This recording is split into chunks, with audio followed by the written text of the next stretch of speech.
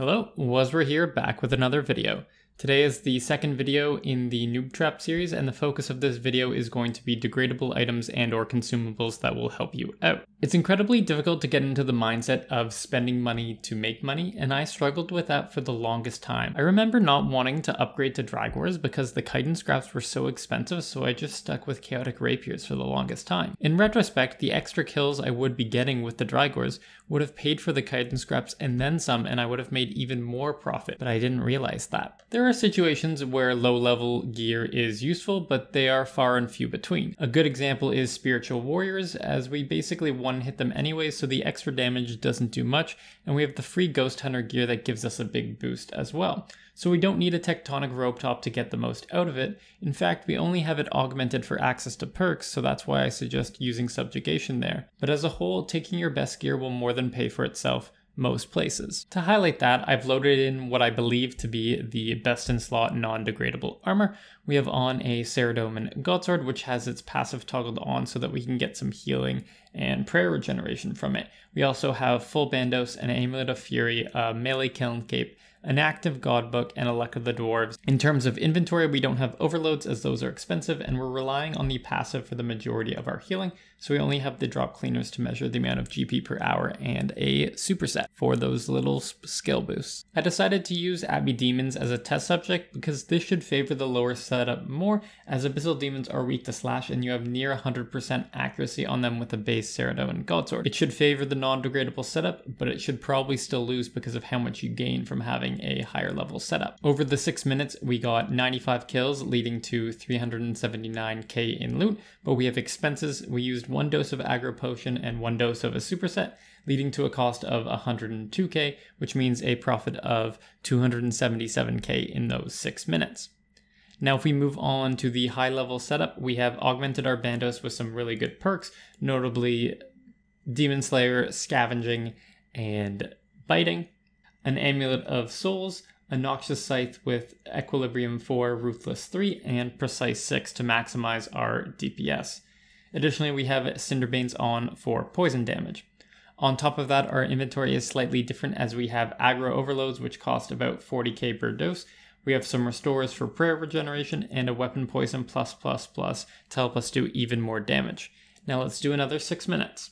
In the six minutes with the higher level setup, we got 125 kills, which if we take the similar loot to kill as the previous setup of 3.9k per kill, we end up with 499k in loot. But now we have to minus off the cost. We used divine charges throughout that, which led to a total of 69,000 GP, we had an Amulet of Souls, which cost 5k GP, Laceration Boots, which cost 500 GP, Cinderbane Gloves, which was 150 GP. We also had Springs, which was 92k GP, and the one aggro overload dose was 40,000 GP. This leads to a total cost of 207,000, which when you take that off of our loot, we end up with 291,000 in profit, which is 14k higher than our previous profit. On top of that, we also clocked in a total of 111,000 experience, more than the 83.4k that we got in the first setup. So all in all, the second setup is way better to use at Abyssal Demons over the first,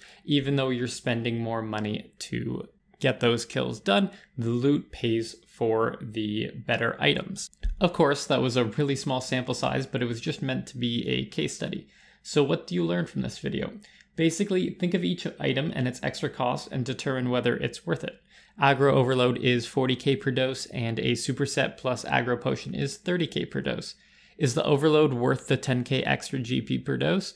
Well, yes, because it only takes two and a half kills to pay for it, as we get about 4k per kill. Basically, you have to go through each item and determine whether the cost is worth it. For example, in testing for this video, I found that Trim Masterwork is not worth using, as the extra cost doesn't lead to enough kill per hour over Bandos to justify the extra cost which makes sense because it's a degrade to dust item and we are killing a low level monster. Now let's pivot to a higher level boss and show it in a different light.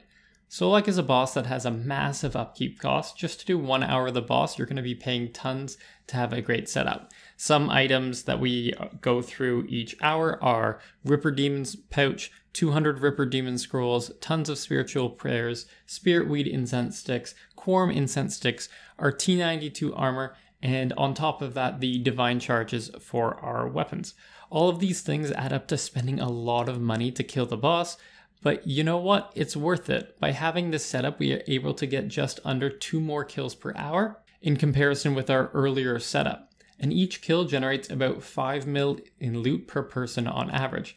So while we are paying 2 to 3 mil to get those kills, we make it back and then more from those extra kills per hour, which I think is the best lesson. And even to this day, killing Solak feels kind of terrible at times because spending 2 to 3 mil per hour, you feel your cash stack go down and down until you get that big split. If, if you've noticed through my Bossman videos, my cash stack continually goes down because that's paying for supplies as I'm not selling any items as they're either spirit shards or they're in the loot tab. So I have a real appreciation for how much items cost now. In conclusion, think about how much the gear slash item will cost you per hour to use and determine whether that item is worth it. For example, Kwuarm incense sticks give you 10% more poison damage. If that gives you an extra 2 kills per hour at Abyssal Demons, that's not worth it because you're spending 200k per hour. Don't shy away from spending money to make money, but spend your money smartly. It'll bring your account to new heights. That's going to do it for this video. If you like the content I'm creating, consider subscribing. Like the video if you enjoyed it, and past that, I'll catch you in the next one.